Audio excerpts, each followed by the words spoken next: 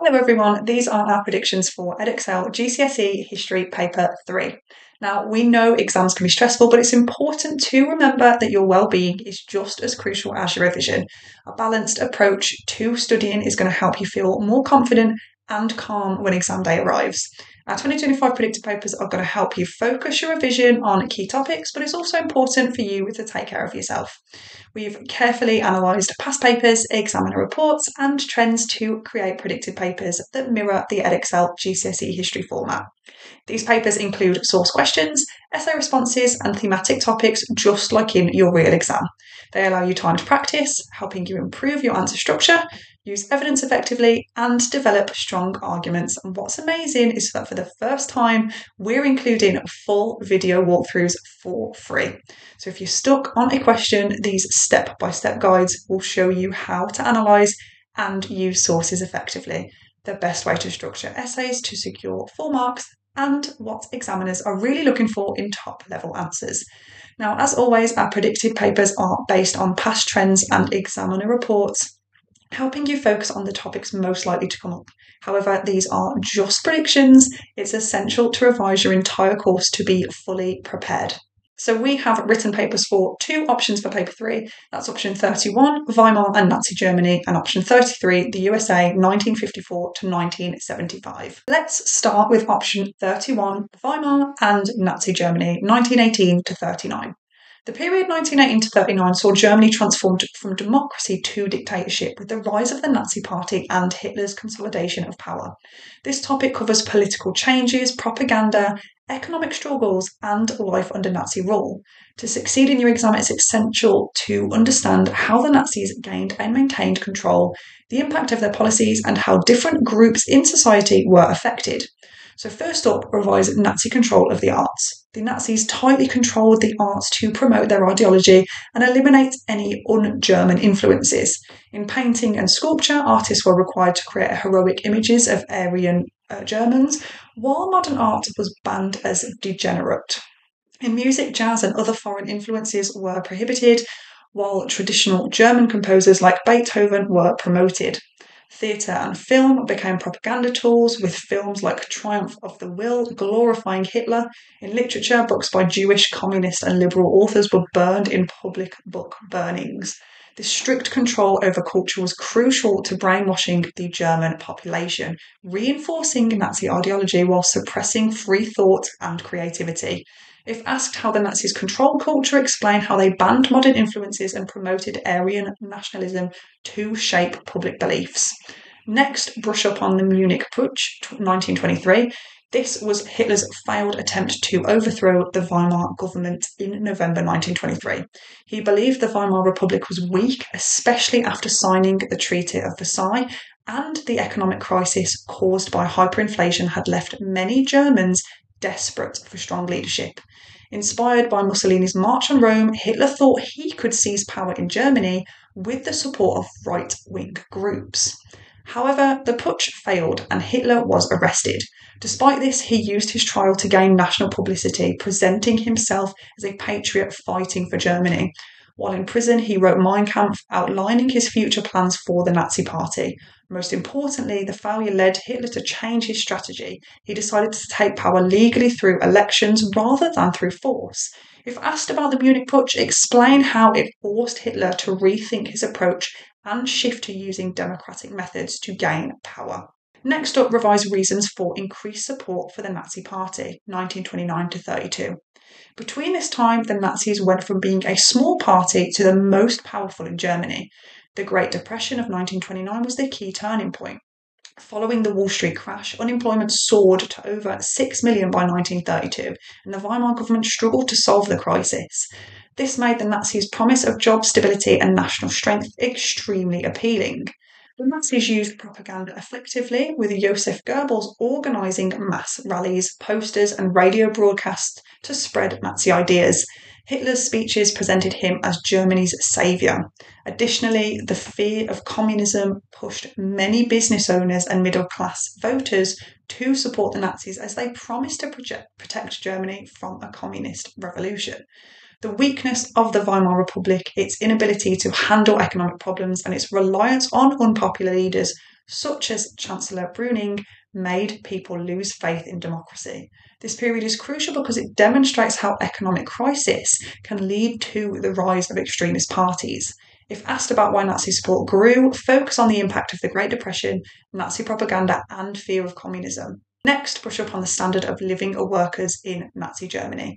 The Nazis claimed to improve workers' lives, but the reality was mixed. On the positive side, unemployment fell as the Nazis created millions of jobs in rearmament, construction, and public works, such as the autobahns. Workers also benefited from the Strength Through Joy programme, which provided cheap holidays, theatre tickets, and sports events. The Volkswagen scheme encouraged workers to save for a car, though most never actually received one. However, workers lost key rights. Trade unions were banned, meaning they had no power to demand better wages or conditions. While employment rose, wages remained low and the cost of living increased. Workers had no choice but to obey Nazi policies as the German Labour Front controlled all aspects of employment. This topic is important as it highlights the contrast between Nazi propaganda and reality. If asked about living standards under the Nazis, give a balanced answer. While jobs and leisure activities improved, wages remained low and workers lost their freedoms. Okay, those are our predictions for option 31. We hope they are useful to you. Don't forget, exam preparation is important, but so is your mental well-being. Take breaks, stay positive, and remind yourself that progress comes from steady effort, not perfection. To make revision easier, our free video walkthroughs will guide you through essay structures, source analysis, and examiner expectations.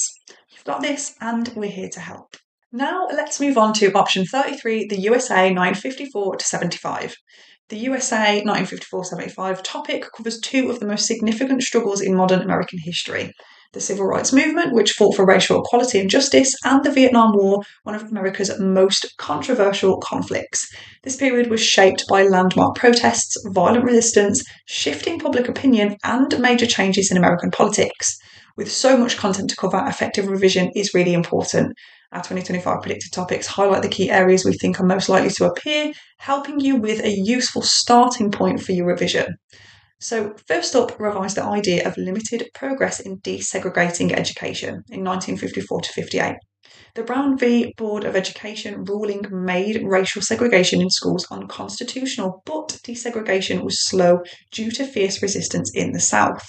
Many states introduced massive resistance laws to prevent desegregation, and the federal government was reluctant to enforce the ruling. African American students faced violence and intimidation when attempting to attend white schools, the most famous example was the Little Rock crisis in 1957, where Arkansas's governor used the National Guard to block nine black students from entering school. President Eisenhower was forced to send federal troops to escort them. This case showed that change required federal intervention because many states refused to comply voluntarily. If asked why progress was slow, mention white resistance, weak federal enforcement, and violent opposition. Next, brush up on the civil rights campaign in Selma, that's 1965. Selma, Alabama became a major focus for the voting rights campaign because only 2% of black residents were registered to vote, despite making up half the population. Civil rights activists, including Martin Luther King Jr. and the Southern Christian Leadership Conference, that's the SCLC, organised peaceful marches to demand voting rights. On Bloody Sunday, March the 7th, 1965, protesters attempted to march from Selma to Montgomery but were violently attacked by state troopers on the Edmund Pettus Bridge. The brutal police response was widely covered by the media, shocking the nation and increasing public support for those civil rights. In response, President Johnson pushed for the Voting Rights Act 1965, which banned racial discrimination in voting. This event demonstrated how non violent protest and media attention could pressure the government into action, directly leading to a major civil rights law. If asked about Selma's significance, explain how public outrage and media coverage forced the government to act. More broadly, look into the rise of the Black Power movement 1963 to 1968. By the mid 60s, many African Americans were frustrated with the slow pace of change under Martin Luther King Jr.'s non violent approach, leading to the rise of Black Power. This movement encouraged self defense, racial pride, and economic empowerment. Support for Black Power grew due to ongoing racism, police brutality, and economic inequality, despite legal victories in civil rights. Many felt that peaceful protests weren't enough, especially after Martin Luther King Jr.'s campaigns failed to improve economic conditions. Influenced by Malcolm X, groups like the Black Panther Party, founded in 1966, took a more direct approach, setting up community programs while also confronting police brutality. Black Power divided the civil rights movement as some saw it as necessary, while others feared it led to increased government crackdowns.